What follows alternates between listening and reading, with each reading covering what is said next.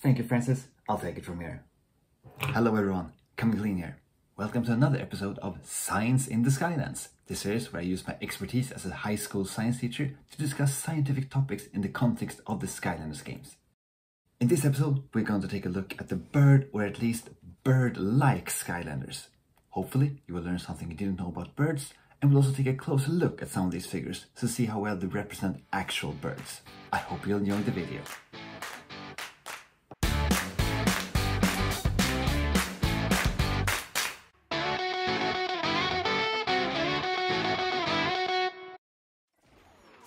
In the entire history of recorded life on Earth, the ability to fly has evolved four times.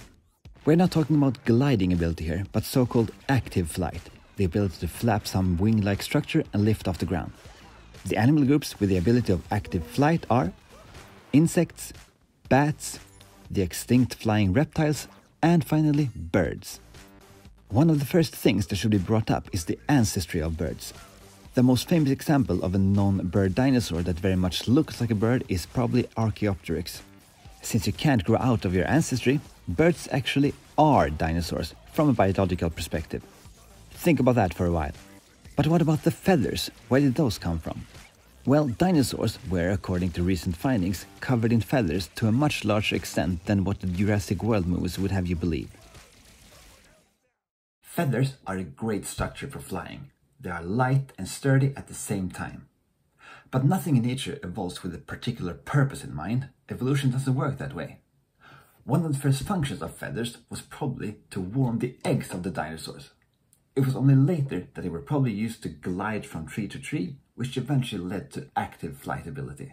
Wow, you sure know a lot of stuff about birds. I sure do, Francis, and that's great, because what do I always tell you? That knowledge is power. That's right. Let's look at some figures. Okay, so here we have Sonic Boom and Sunburn. Technically, none of these two are birds. Sonic Boom is a griffin and Sunburn is a dragon hybrid, but they do have bird-like features and the point I will try to make will still go. What I'm about to say I did already mention in my first Biologist Ranks video, which of course you are more than welcome to check out by clicking the card appearing on screen right now. The bird-like traits that he do have includes beaks, wings, claws and so on. They do however have a non-bird feature. They have four legs and a pair of wings on their backs, as you can see.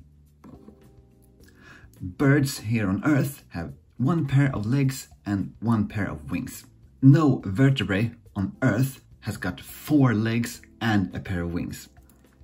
Another bird-like feature they do have is that they have a strong, protruding, muscular chest. Birds have this trait because the chest contains all the muscles they need to lift off the ground, because it takes a tremendous amount of energy to flap your wings and lift off the ground. So you need to have very strong wings.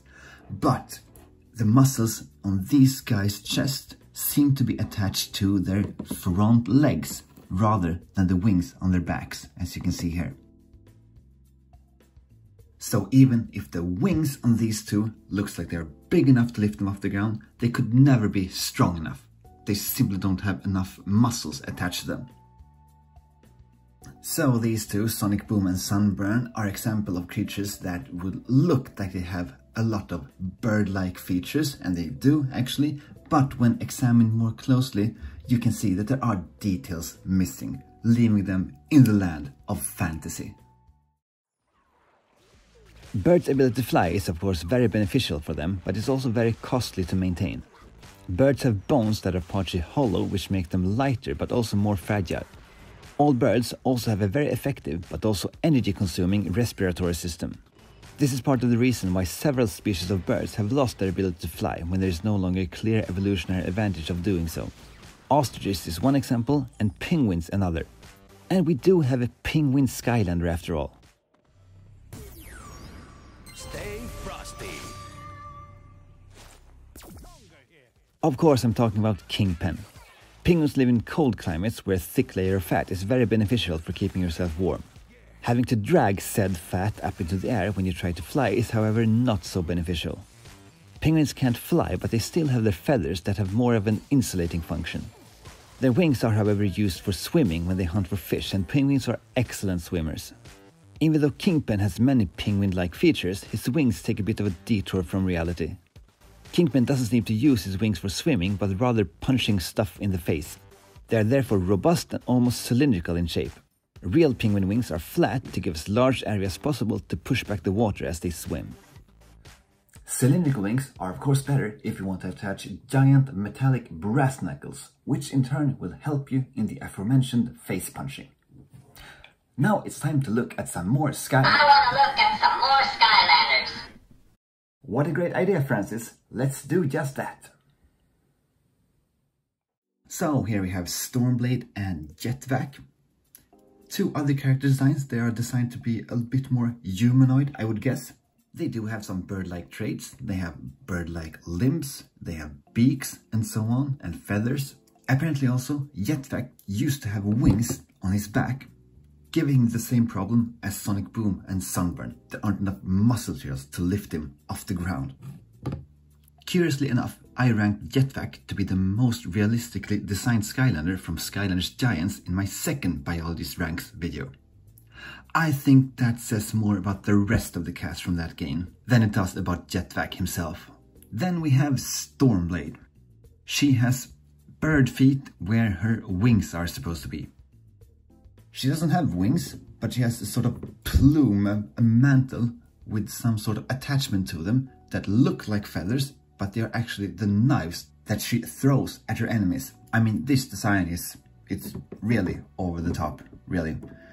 I love the character design, don't get me wrong, I, th I think she's one of the coolest looking Skylanders, but there's nothing realistic going on here. The character design is really wild, actually, but I do like it. So, both of these characters are clearly designed to be more humanoid than their friends from the first game. They sort of capture the essence of actual birds, but if you analyze them from a physiological perspective, they do not look much like birds at all. But then again, I really like both character designs here. That's the end of this episode of Science in the Skylands.